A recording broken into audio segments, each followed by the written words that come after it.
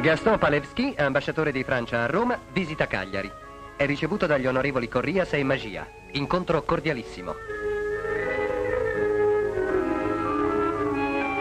Aperto lo scambio di idee su problemi di comune interesse, in particolare turismo e comunicazioni.